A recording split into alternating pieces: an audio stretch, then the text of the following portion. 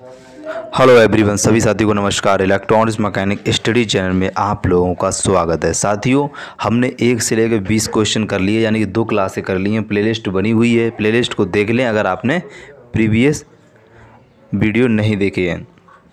तो आप लोग, एक लोगों ने मुझे कमेंट किया, सर ऑप्शन मत बोलिए, सीधा आंसर दीजिए। ऐसा नहीं है। सभी साथियों को लेके चलेगा। अगर आपको नहीं है तो स्पीड बढ़ा के आप देख सकते हो वीडियो को, ठीक है? चलिए, सभी लोगों को साथ में लेके चलेंगे। तो उम्मीद करूँगा आप लोग पूरा अपना सपोर्ट करेंगे और अगर आप D R D O U P P C L A L P की अगर आप तैयारी कर रहे हो तो ये एस के झा बुक सॉल्यूशन हम करवा रहे हैं और ये बहुत ही अच्छी बुक है। सभी एग्ज़ाम को कवर कर रही है और आप इस बुक को फॉलो करें। तो कम से कम अगर परचेज़ करोगे, साढ़े तीन सौ रुपये की पड़ेगी। मैं आपको रोज़ाना करवा रहा हूँ।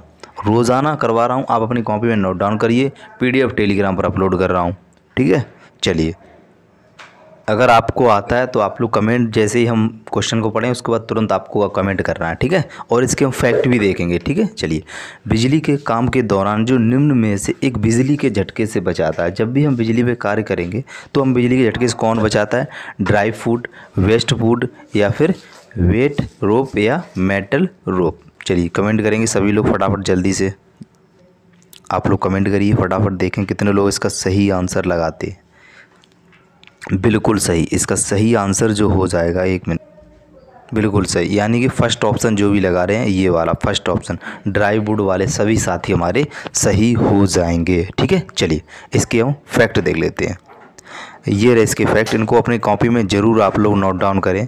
देखिए, ये हमारा क्या था? बिजली के काम के दौरान ड्राई वुड जो सूखी लकड़ी होती है, बिजली के झटके से बचाता है। अब ये देखिए ड्राई वुड का तात्पर्य सूखी लकड़ी से ही है। मतलब उसको इंग्लिश में बोला गया मतलब ये हिंदी में हो जाएगा सूखी लकड़ी। एग्ज़ाम में घुमा के पूछ लिया जाता है। तो उसमें क्या होता है, जो हमारे गाँव के लड़के होते हैं या हमारे थोड़े वैसे लड़के होते हैं, जो इंग्लिश में कमज़ोर होते हैं, उन साथियों को थोड़ी सी दिक्कत आती है। लेकिन आजकल सभी लोग इंग्लिश को भी अच्छे से कवर कर रहे हैं। ऐसा नहीं है, ठीक है? चलिए तो ऐसा नहीं, शहर का भी कोई भी हो, इंग्लिश में थोड़ा क्या होता है कि हमें अगर आई वाले में आई वाले की सबसे बड़ी बात यही रहती है आई वाले हिंदी मीडियम वाले रहते हैं तो उनको बहुत दिक्कत आती है। अगर अभी आप समझ सकते हो अभी आपको बताएँगे एक बार कि जब 2018 में लोको पायलट की वैकेंसी आई थी, उसमें आई वालों से सौ सौ नम, सौ नंबर में से तीस तीस नंबर नहीं आए थे। तब उनको दोबारा रिज़ल्ट मतलब उनका निकाला गया था, समझ सकते हो इसलिए। आईटीआई का क्रेज़ बहुत अच्छा है, अगर आप थोड़ा सा, अगर आप अच्छे से कर लेते हो। जो वस्तु दूसरा पॉइंट अपने कॉपी में लिखिए, जो वस्तु विद्युत का कुचालक होता है, उसमें विद्युत धारा प्रवाहित नहीं होती। ये बिल्कुल बात सही है। जो ऐसे कि हमारी जो पेंसिल होती है पेंसिल की जो आगे जो ग्रेफाइड होती है, उसमें अगर हम, उसको हम लाइट पर कनेक्ट करें तो उसमें क्या होगी? धारा नहीं होगी क्योंकि वो कुचालक है। ठीक है? चलिए, इन तीनों पॉइंट को अपनी कॉपी में नोट डाउन कर लीजिए, फटाफट स्क्रीन कर लीजिए, जिन लोगों ने स्क्रीन नहीं किया। चलिए नेक्स्ट क्वेश्चन देख लेते हैं। नेक्स्ट क्वेश्चन ये रहा, देखो। एक मिनट। हाँ नेक्स्ट क्वेश्चन ये रहा। धातु के उपकरणों में प्रेरित निम्न वोल्टेज जिसकी वजह से धीमा विद्युतीय झटका इलेक्ट्रिक शॉक लगता है, उसका उपयोग करके रोक सकता है। किसके द्वारा हम रोक सकते हैं?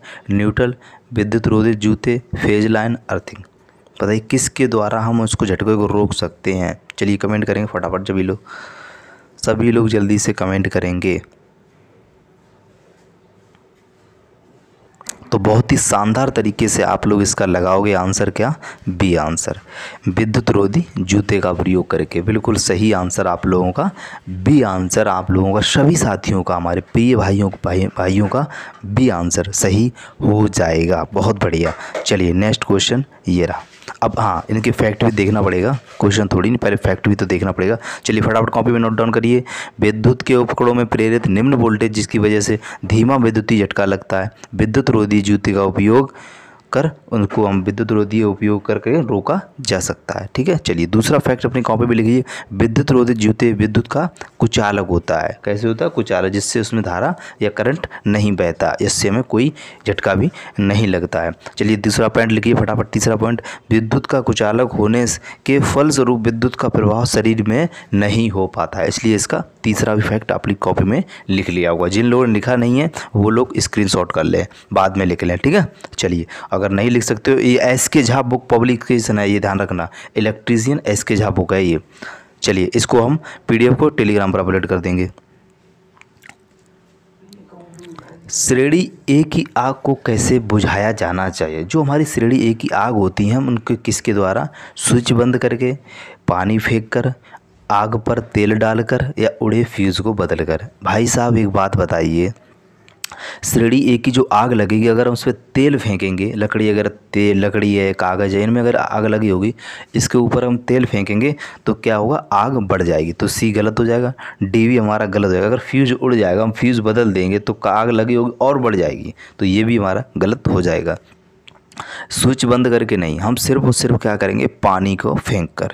बी आंसर सही हो जाएगा और प्रीवियस क्वेश्चन है। अगर आप लोग बी आंसर लगा रहे हो तो बिल्कुल सही है। जितने भी लोग बी आंसर इसका लगा रहे हैं, बिल्कुल सही आप लोगों का सही आंसर माना जाएगा। बहुत ही शानदार और गजब तरीके से आप लोग बी आंसर इसका लगा रहे हो। बहुत बढ़िया। चलिए नेक्स्ट क्वेश्चन देख लेते हैं। अब नेक्स्ट इसका हम थोड़ा फैक्ट भी देखेंगे। ये रहा। देखो फैक्ट अपनी कॉपी में फटाफट लिखिए। सबसे पहले आप लिखेंगे श्रेणी ए की आग को पानी फेंक कर बुझाया जाना चाहिए। बिल्कुल सही। अब दूसरा फैक्ट लिखिए अपनी कॉपी में श्रेणी ए की आग को पानी फेंक कर बुलाया बुलाया बुल, मतलब बुझाया जाना चाहिए। यहाँ पर थोड़ा सा मिस्टेक है ठीक है? चलिए, कोई दिक्कत नहीं।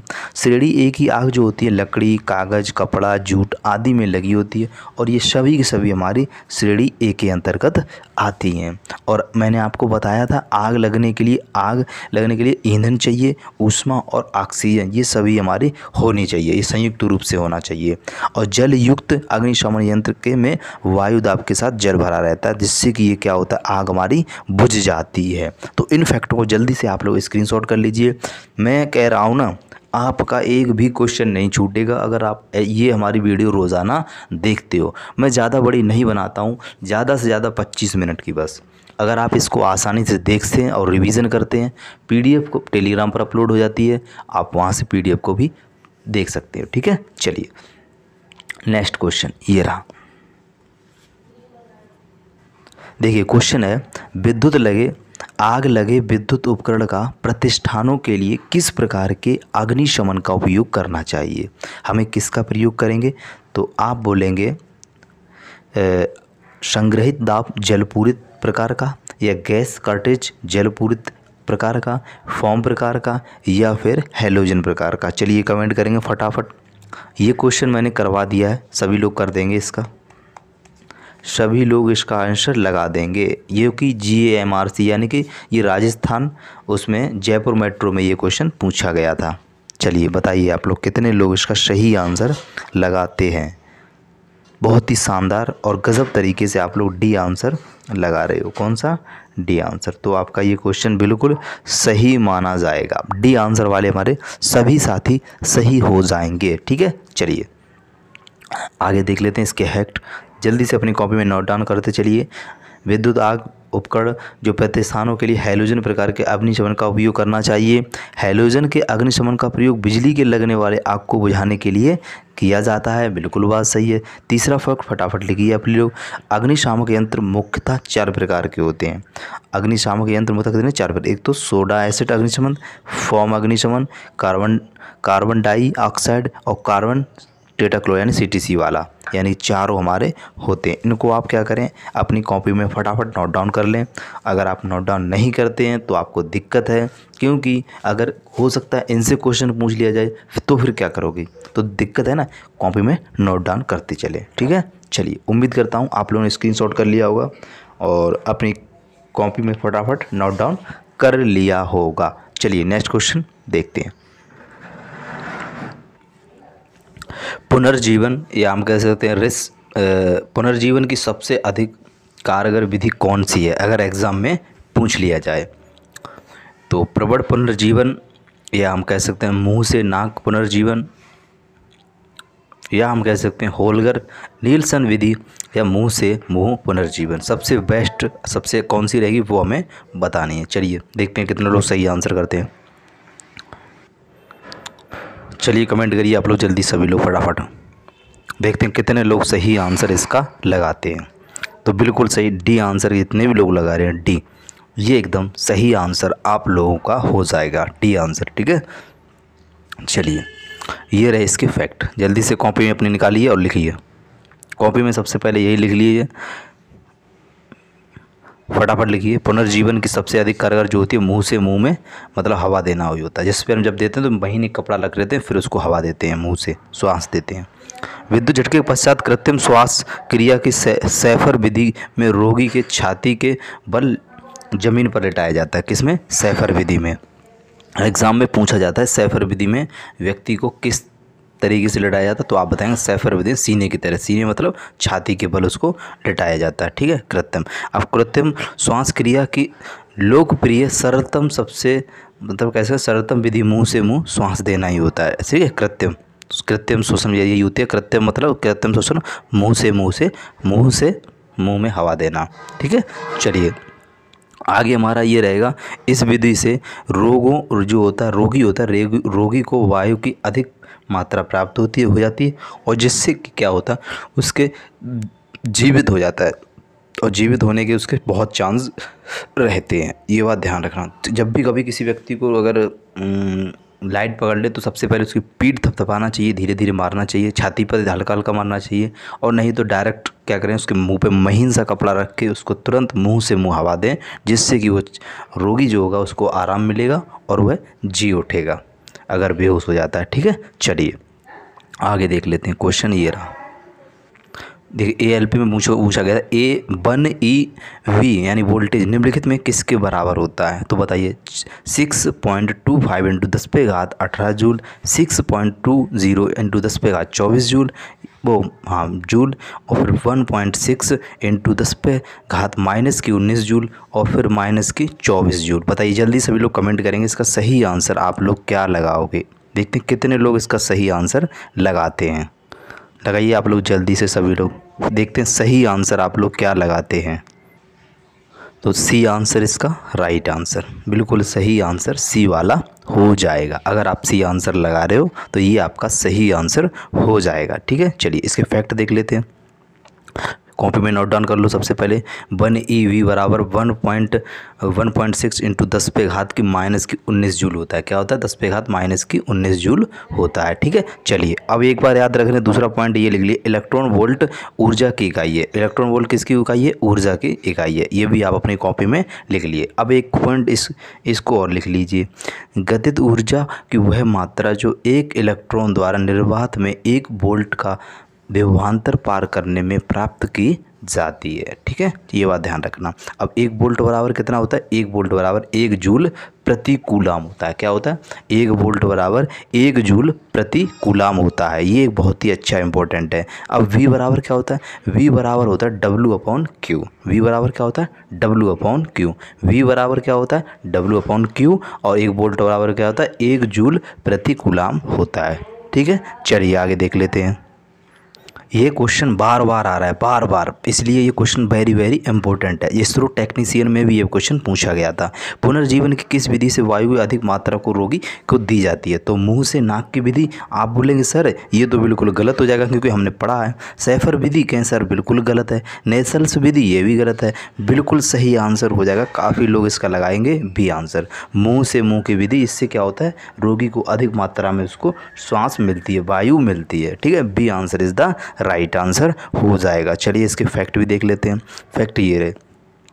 फटाफट इसका फैक्ट आप पहले तो ये लिख लो। जीवन, पुनर्जीवन में मुँह से मुँह की विधि से वायु की अधिक मात्रा रोगी को मिल जाती है या दी जाती है। दूसरा फैक्ट आप अपनी कॉपी में फटाक से लिखिए। कृत्रिम श्वास क्रिया की लोकप्रिय लोकप्रिय भी है और सरलतम विधि कौन सी है? मुँह से मुँह से श्वास देना, जो कि मैं बार बार करवा रहा हूँ। ये तीसरी वीडियो है हमारी, उसमें भी यही मैं आपको बता रहा हूँ। ये रट गया हुआ क्वेश्चन इस विधि में पीड़ित को पीठ के बल लेटाया जाता है। हमेशा याद रखना, पीठ के बल लेटाकर, पीठ के बल मतलब कैसा? पीठ के बल लेटा देते हैं पीड़ित के, फिर उसके मुँह पर साफ़ करके, उसका मुँह साफ़ कर देते हैं और खुला करके उस पर महीन कपड़ा रख के मैंने आपको बताया था और नाक बंद करके, नाक बंद करके मुँह से बलपूर्वक हवा भरते हैं। इस विधि से रोगी वायु की अधिक मात्रा प्राप्त होती है, जिससे कि वह जीवित हो जाता है। ठीक है? चलिए। जल्दी से को इसको स्क्रीनशॉट कर लीजिए और अपनी कॉपी में नोट डाउन कर लेना है, ठीक है? चलिए, ये मैं फिर कह रहा हूँ, ये मैं सॉल्यूशन जो करवा रहा हूँ एस के झा इलेक्ट्रीशियन जो कि फ़र्स्ट बुक नहीं है, ये द्वितीय संस्करण है, काफ़ी मोटी क्वेश्चन है मतलब बुक है, ठीक है? काफ़ी मोटी बुक है, साढ़े तीन सौ की बुक है, मैं सीधी सी आपको बताऊँगा। चलिए नेक्स्ट क्वेश्चन ये रहा। नेक्स्ट क्वेश्चन जल्दी से सभी करें। चलिए आप लोग करिए। कार्य करते समय कोई व्यक्ति विद्युत के संपर्क में आ जाए तो तुरंत निम्न में से क्या करेंगे? व्यक्ति का हाथ पकड़कर उसे विद्युत तार से दूर खींचेंगे। बिल्कुल गलत। हमको भी करंट लग जाएगा। उसे अस्पताल ले जाएँगे। बिल्कुल गलत। चिकित्सा को तुरंत फ़ोन करेंगे। बिल्कुल गलत। सबसे पहले फ़र्स्ट जो ऑप्शन रहेगा, वो हमारा ये रहेगा। लकड़ी की छड़ी का उपयोग करके उसे अलग करेंगे। बाकी बाद क्या होगा, उसके बाद देखेंगे। अगर अलग ही नहीं करोगे तो तब तक तो वो निपट जाएगा, यानी मर जाएगा। इस बात को आप लोग ध्यान रखना है। चलिए क्वेश्चन है, कार्य करते समय कोई व्यक्ति विद्युत के संपर्क में आ जाए तो तुरंत निम्न में से क्या करेंगे? ये डी आंसर इसका हो जाएगा, ठीक है? चलिए, अब इसके फैक्ट देख लेते हैं।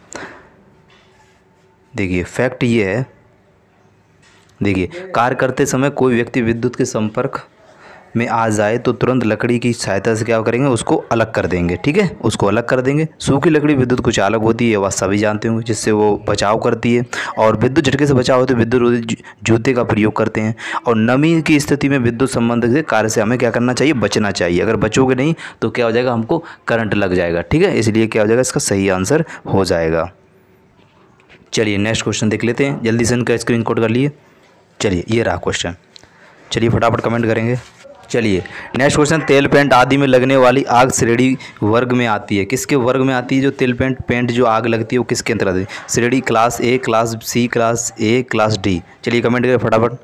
सभी लोग कमेंट करें, किसके अंतर्गत आती है? तो आप लोग बोलेंगे, सर, जितनी भी हमारी ये लिक्विड वाली होती हैं, वो सभी की सभी क्लास बी के अंतर्गत आती हैं। और क्लास ए के अंतर्गत लकड़ी लकड़ी की आती हैं, ठीक है? क्लास सी गैस के अंतर्गत आती है क्लास डी विद्युत लगे पदार्थ में आग लगती है, उसमें आती है। ठीक है तो इसका राइट आंसर ए आंसर हो जाएगा। चलिए इसके फैक्ट भी देख लेते हैं हम लोग।